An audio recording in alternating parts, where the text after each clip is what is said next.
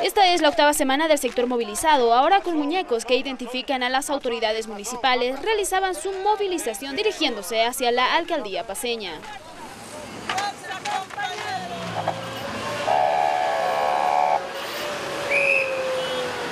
Estamos otra vez en las calles pidiendo la abrogación de la ordenanza 442.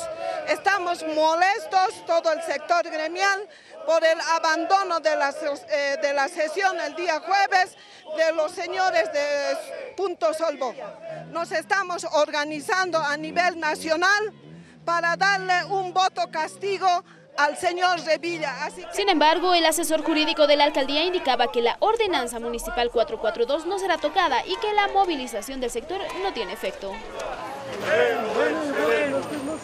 No existe un margen de diálogo en la medida en la cual la, postura de ellos es eh, la abrogatoria. La medida va a continuar y nosotros lo hemos señalado desde un inicio. Esto no se va a abrogar, no se va a modificar. Eh, se han hecho todos los ajustes necesarios en un principio y por tanto el diálogo que se quiera eh, plantear que tenga cuya base la abrogatoria, pues obviamente no tiene ningún sentido. Nosotros estamos pidiendo que se abrogue, porque ninguna parte de la Constitución dice que la alcaldía tiene la facultad de carnetizarnos.